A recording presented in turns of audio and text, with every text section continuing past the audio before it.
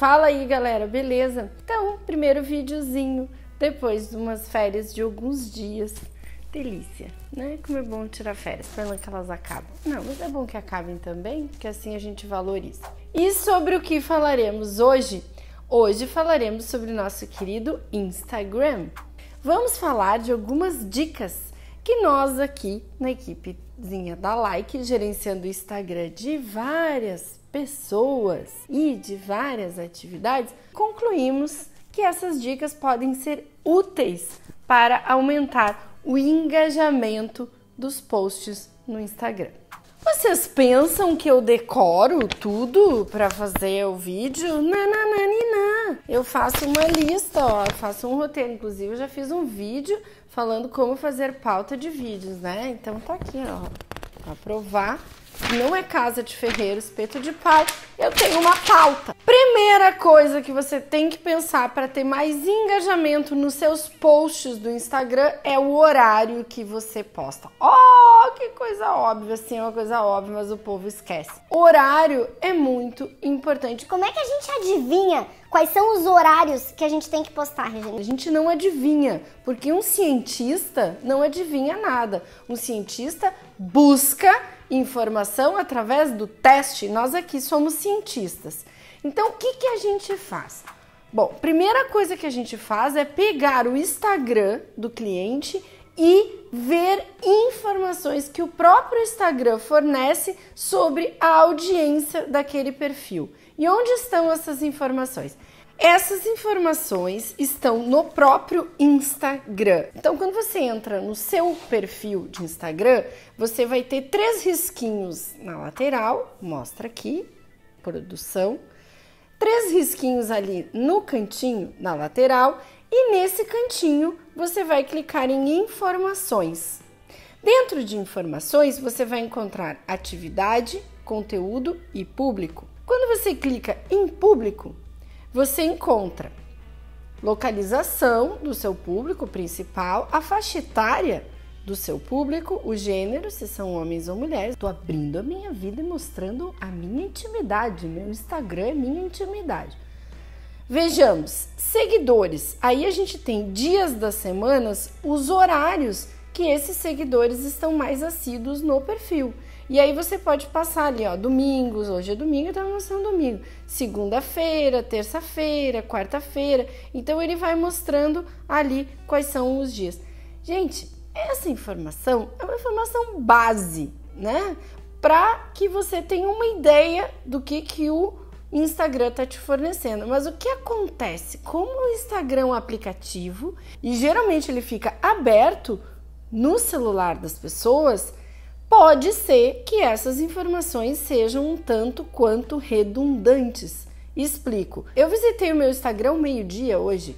Enquanto eu estou trabalhando aqui na Like durante a tarde, o meu Instagram permaneceu aberto ali no meu celular. O que, que pode acontecer? O Instagram fornecer a informação de que eu estou online no Instagram. Então eu acho que essa informação do Instagram ela é um ponto de partida, mas não precisa ser necessariamente em cima dela que você vai tomar a decisão. A sua decisão de horários de postagens tem que ser em cima da sua experiência com essas postagens. E como é que a gente faz isso? Vou dar uma sugestão. Você posta durante a semana em diversos horários diferentes. Por exemplo, segunda-feira, 8 da manhã terça-feira ao meio-dia, quarta-feira às 18 horas, quinta-feira às 20 horas, sexta-feira às 11 da manhã, sábado você posta às 10 da manhã. E domingo você posta às 21 horas. E aí você vai ter uma semana de post para você avaliar qual foi o resultado de engajamento nas duas primeiras horas. Esse engajamento das duas primeiras horas vai te dizer qual é a assiduidade da sua audiência naquela hora que você postou. E é bem legal fazer uma tabelinha e anotar esses resultados para que você possa replicá-los. Na semana seguinte, você pode alternar esses horários que já foram conferidos ali pelo seu Instagram como horários de pico da sua audiência mas você pode alternar os dias da semana e aí também fazer uma pequena anotação. Com um mês de alternâncias de horários, você já vai poder saber nos dias da semana que se você postar, por exemplo, na sexta-feira às 7 horas da noite, às 19 horas, você corre o risco de ter um engajamento menor do que se você postar na sexta-feira ao meio-dia, por exemplo. Dica número 2: hashtags. As pessoas encontram o seu perfil e as suas publicações por hashtags ainda? A resposta ainda é sim. Escolha hashtags alternadas entre as suas publicações, não utilize sempre as mesmas hashtags. Escolha hashtags que têm um número de publicações média, nem muito alto e nem muito baixo. Se você escolher hashtag que ninguém publica, significa que ninguém procura essas hashtags, né? Se você escolher hashtags que muita gente publica, essa caixa de hashtags, essa timeline de hashtags vai enchendo com uma velocidade que a sua vai ficando lá para baixo. Então, escolha hashtags que tem um número bom de publicações, uma velocidade de publicações que dê tempo de ao longo do dia pessoas interessadas nessa hashtag possam encontrar a sua publicação, dar um like e quem sabe entrar no seu perfil e passar a seguir você. A próxima dica é ótima e eu aprendi com a minha amiga Bárbara Conteúdo, que inclusive vou deixar o perfil do Instagram dela aqui porque ela tem muito a nos dizer. O que Bárbara ressaltou? Ressaltou que editar um post do Instagram após a sua publicação poderia zerar a interação que já existiu com esse post antes de você editar. Traduzindo, 30 pessoas curtiram o seu post e daí você entrou lá e editou. O que, que o Instagram faz com isso? Ele zera como se você tivesse postado de novo. Isso é bom? Não, porque vai fazer com que o Instagram entenda que você fez um novo post e que aquele post que você fez antes morreu. Entendeu? Como é que eu sei disso? Porque a Bárbara ressaltou essa observação e eu comecei a observar.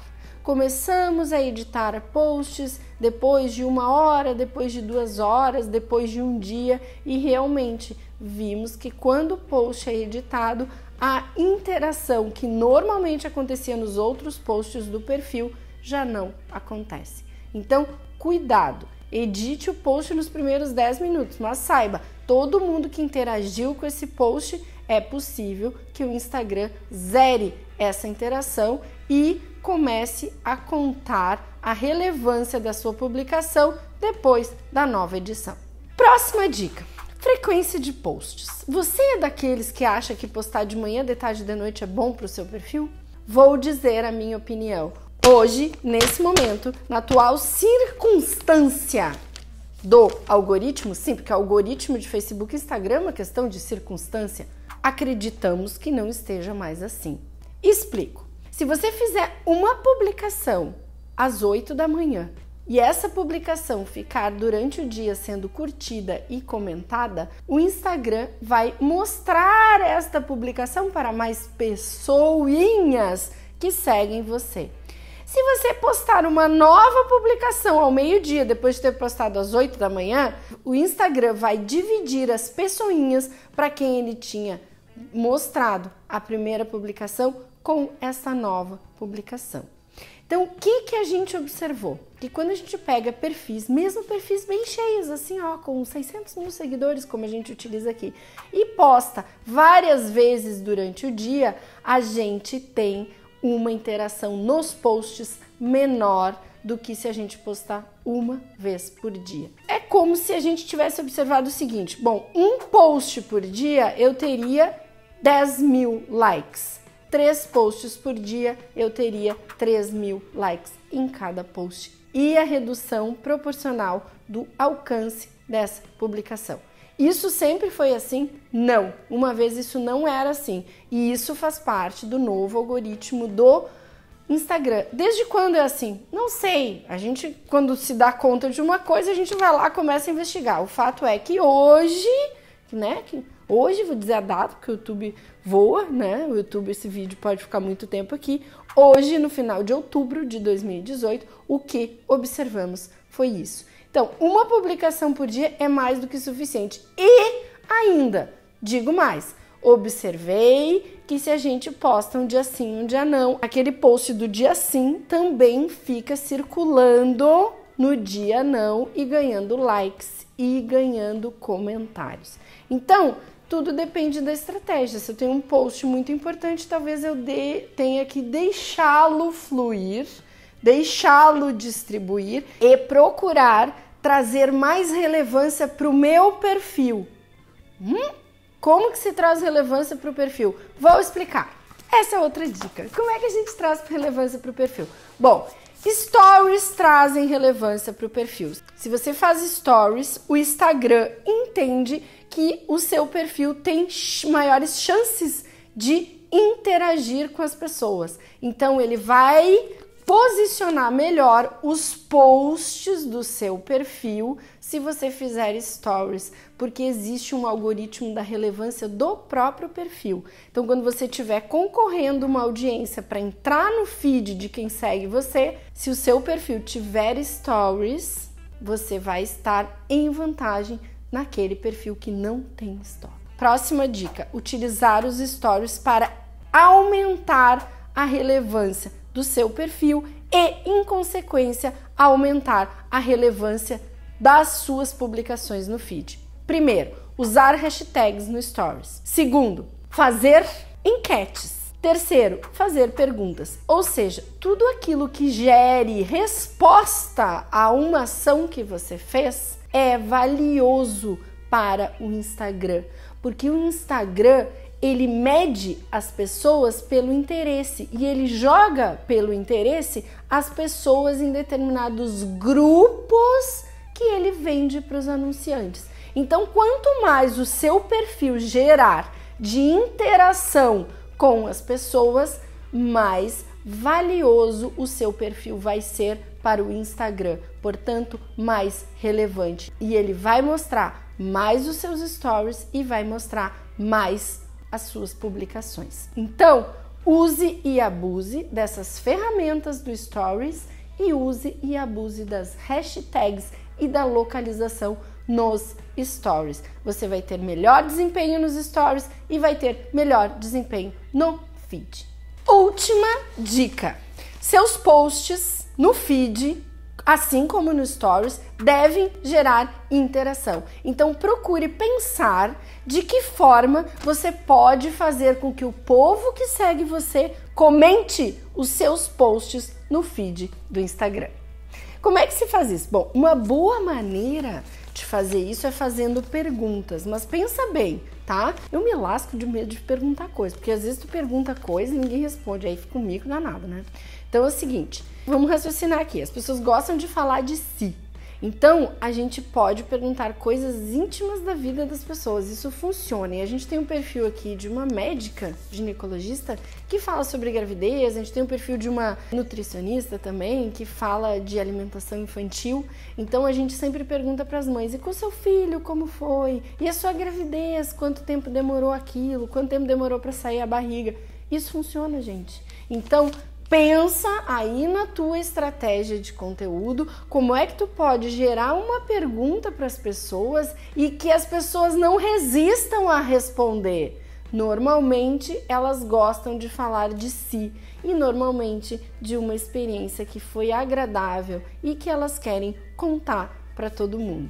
Então, essa é uma dica de fazer com que um post na timeline do Instagram seja interativo. Valeu? Então, espero que vocês tenham gostado das dicas e quem tiver alguma pergunta, deixe aqui nos comentários. Quem quiser fazer alguma pergunta direto para mim, que ninguém veja, vai lá no Instagram, arroba conversa comigo em box, que eu converso com todo mundo. Então, um beijo bem grande, te inscreve no canal e aciona essa sinetinha para toda vez que eu publicar um vídeo que seja do teu interesse, você ficar sabendo loguinho. Valeu? Um beijo! As pessoas vem aqui arrumar a câmera para a pessoa gravar, mas deixa a câmera torta. Daí a gente faz o quê? A câmera torta? Fica com a câmera torta, totalmente torta essa câmera. Olha só, espera que eu não sei onde é que desentorta. Desentorta nesse negócio aqui, mas... Ah. Cheio, já 1,59 de vídeo e nada. Falou nada, disse nada. Tá com saudade vídeo, Dudu? Quando aperta, o trumbico entorta. Ficou torto ainda.